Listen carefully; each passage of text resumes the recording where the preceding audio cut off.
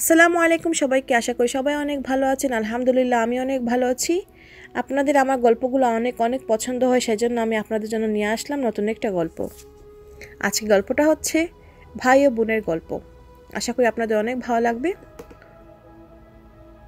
অপু আর টুম্পা, তার দুই ভাই বোন টুম্পা বয়সে বড়।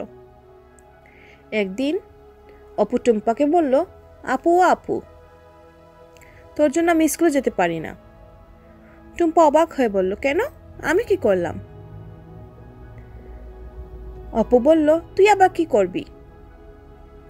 তুই কি জানিস না? টুম্পা একটু অবাক হলো। বলল, কেন? আমি কি করেছি? বলতো অপু মন খারাপ করে বলল, তোর একটা চোখ নেই। এই নিয়ে স্কুলে ছেলেরা আমাকে খুব খেপায়। সমস্ত ছেলে মেয়ে আমাকে কানির বাই কানির বাই বলে ডাকে। আমি আর স্কুলে যাব না। আমার অনেক খারাপ লাগে। টুম্পু আপুকে সান্ত্বনা দিয়ে বলল, শুন ভাই, একদম মন খারাপ করবি না। ওদের বলবি, অসুখে আমার একটা চোখ নষ্ট হয়ে গিয়েছে। আমিও আগে খুব ভালো দেখতে পেতাম। অপু বলল, তোর জন্য সবাই আমাকে খুব অপমান করে। আর তুই বলছিস আমি মন খারাপ করব না? আমি আর কখনো স্কুলে যাব না। টুম্পা তার ভাইকে বলল, ভাই রে, তুই আমার কথা শুন।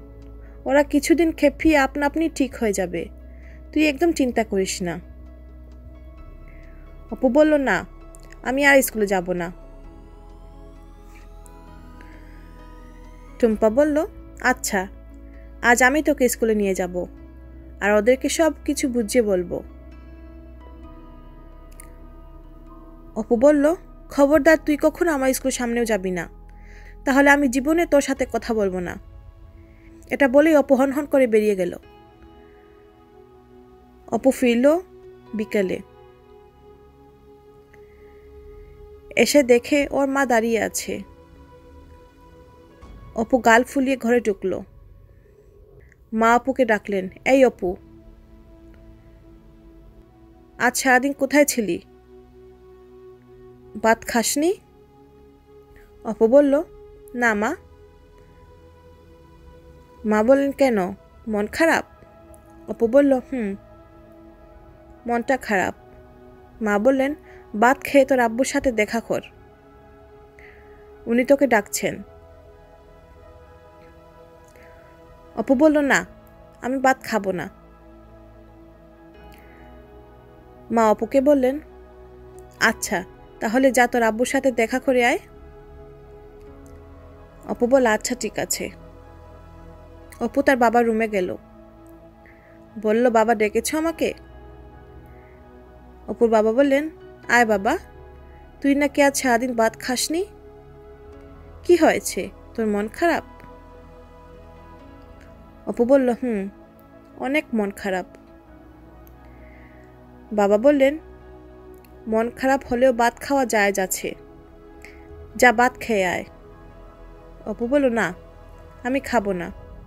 আমার পেট ভরা। অপুর বাবা বললেন, সত্যি খাবি না? আচ্ছা থাক, খাওয়া লাগবে না। আজ সন্ধ্যায় আমরা সবাই বাড়িয়ে যাব। ঠিক আছে? অপু বলল, না আমি যাব না। অপুর বাবা অবাক হলেন আর বললেন, কেন যাবি না? তোর আপু যাবে বলে? অপু বলল, ঠিক বলেছ। অপুর বাবা বললেন আচ্ছা ঠিক আছে। তোর আপুকে আমরা নিব না। এবার খুশি তো? অপু খুশি হয়ে বলল, ঠিক আছে, তাহলে আমি যাব। অপুর বাবা বললেন, যা, তোর মাকে বল রেডি হতে আর তুইও রেডি হয়ে নে। আমরা একসাথে সন্ধ্যায় বের হব। অপু বলল, সন্ধ্যা হতে তো অনেক দেরি বাবা। অপুর বাবা বললেন, তাও ঠিক। আচ্ছা এক কাজ কর। এখানটায় বস, তোকে একটা গল্প বলি। গল্প শুনবি তো? অপু বলল হ্যাঁ বাবা, শুনব। বলো। তারপর বাবা শুরু করলেন, শুন তাহলে। অনেক বছর আগের কথা। প্রায় চব্বিশ, পঁচিশ বছর আগের কথা। এক দাম্পতির কোনো সন্তান হচ্ছিল না। তারা সন্তানের আশায় অনেক কিছু করল। শত সাধনার পর এক চাঁদনি রাতে আল্লাহ তাদের কথা শুনলেন। তাদের কুল জুড়ে তিনি অপরূপ সুন্দর এক কন্যা সন্তান দান করলেন। এই মেয়েটাকে দেখে সবাই অবাক। এত সুন্দর কি কোনো মানুষ হয়? এইটা মেয়ে নাকি অন্য কিছু?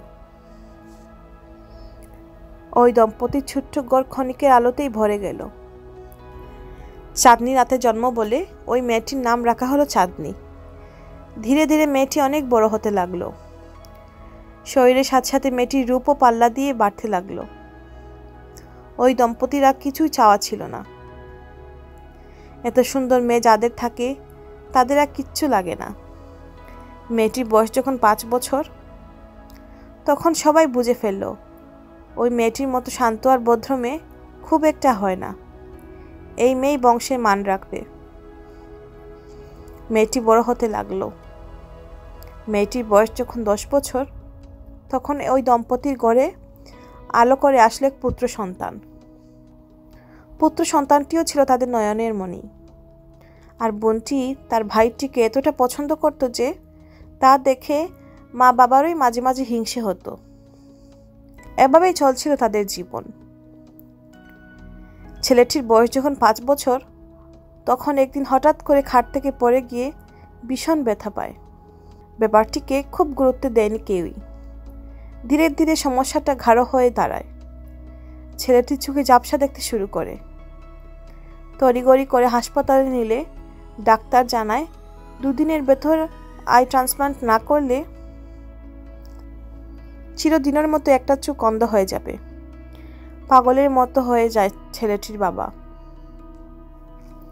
দুদিনের ভেতর চুপ কোথা থেকে জোগাড় করবে? কোনো উপায় না দেখে মাথা নিচু করে বসে থাকে হাসপাতালের করিডোরে। তখন কেউ একজন কাঁধে হাত দিয়ে বলল,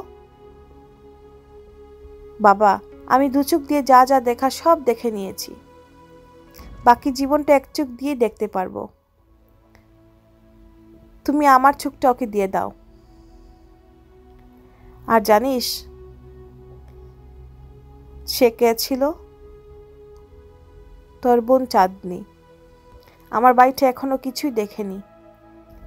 এটুকু বলেই পৃথিবীর সবচেয়ে সুন্দর চোখের মেয়েটি হাওমাও করে কেঁদে দিল। অপু জিজ্ঞেস করল, বাবা, ওই ছেলেটা কি আমি ছিলাম? বাবা বলল, না, তুই হবি কেন? অপু বলল, বাবা, তুমি একদম মিথ্যা কথা বলো না।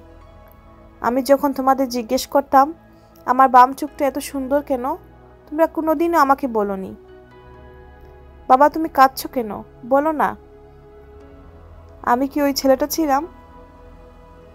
অপু বাবা বললেন, এমনিতে কাঁদছি, তুই যা রেডি হয়ে নে। অপু উঠে গেল।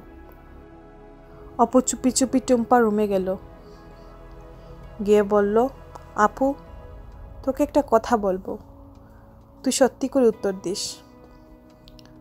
টুম্পা বলল হ্যাঁ বল।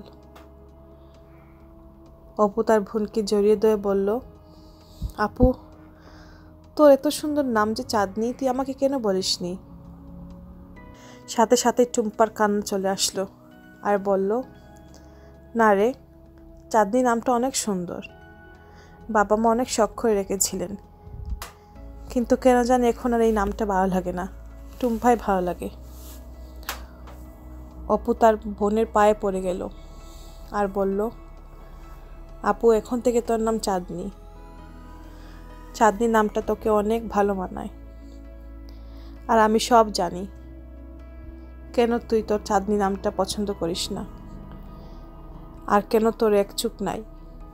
তুই আমাকে তোর চুপ দিয়ে দিয়েছিস, আপু। আর আমি বুকার মতো এতদিন তোকে অবহেলা করে গিয়েছি। তুই আমাকে ক্ষমা করে দে, আপু। আল্লাহর দুহাই লাগে তুই আমাকে ক্ষমা করে দে। আমি অনেক বড় অপরাধী, এই বলে আকাশ বাতাস কাঁপিয়ে অপু কাঁদতে লাগল। টুম্পা তার ভাইকে জড়িয়ে দেওয়া বলল, কাঁদিস নে ভাই। তোর চোখ মানে তো আমারই চোখ। তুই কাঁদিস নে। তোর যখন চাঁদনি নামটা এত ভালো লাগে, এখন থেকে আমার নাম চাঁদনি। এই বলে দুই ভাই বোন একসাথে কাঁদতে লাগল। আশা করি আমার এই গল্পটি অনেক ভালো লেগেছে। ভালো লেগে থাকলে অবশ্যই লাইক ও শেয়ার করতে ভুলবেন না। আর আমার চ্যানেলটি অবশ্যই সাবস্ক্রাইব করবেন। সবাই ভালো থাকেন। আল্লাহ হাফিজ।